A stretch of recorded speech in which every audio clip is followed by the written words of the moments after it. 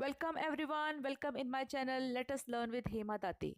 Today we are going to derive a formula for total surface area and lateral surface area of a cuboid. So let's start the activity. This is a cuboidal box. It has 6 faces, 8 corners and 12 edges. You will see there are so many cuboidal object at your home. I also have this box. In this I had got some candles.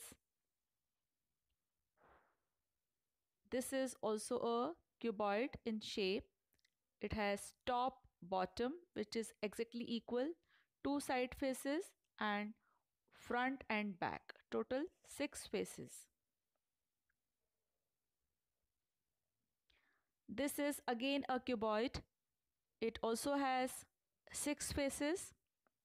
Top, this we can say bottom, side, side and front and back.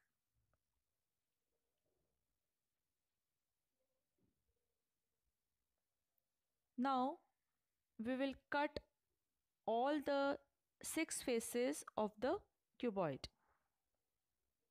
There are some overlaps we can ignore them we can take them aside. We'll see only we'll take only six faces of the cuboid. This is length. This is width. This is also length. This is also length. This is width. This is also width this is also width this is also width this is length this is width. So this will be the third dimension which is height.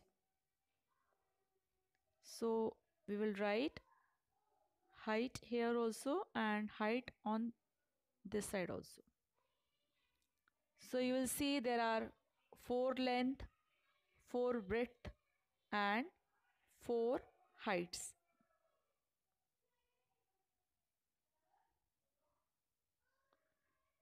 So now with the help of scissors we'll cut all the faces.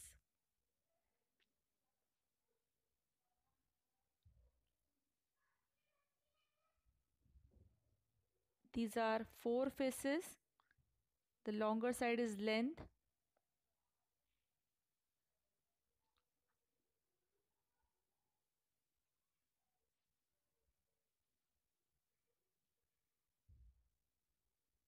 if this is the length then this we can take as width. This is also width.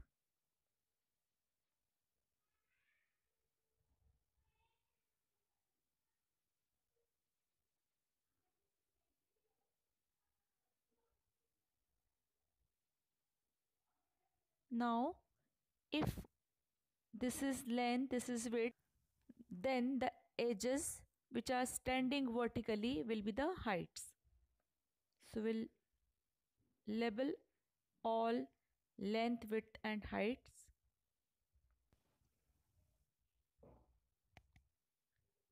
Here also one is length, one is height.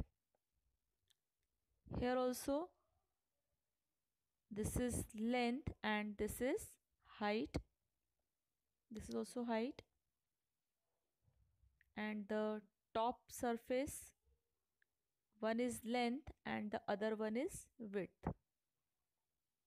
This is length this is width. So like this we can label all the length width and heights. Now we'll place them. We can write we have to calculate the total surface area of cuboid so if you calculate the area of all these faces, their sum will be the total surface area of cuboid. I have written A1, A2 plus A3 plus A4 plus A5 plus A6. These are the areas of the faces. So the first face, area of first face will be length into width. Area of second face, we can write length into width again. third face we can write length into height. For fourth we can write length into height. For fifth we can write width into height. Plus for sixth we can write width into height. We can see that there are two exactly same faces in the cuboid. The top and bottom will be exactly same. Two side faces will be exactly same and front and back also will be exactly same. So we can write 2 times length into width plus 2 times length into height plus 2 times width into height. We can take 2 common. It will be length into width plus width into height plus length into height. It is in square units. So this is the total surface area of a cuboid. Now let's find the lateral surface area or area of four walls.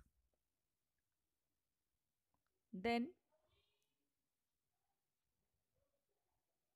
lateral means sides.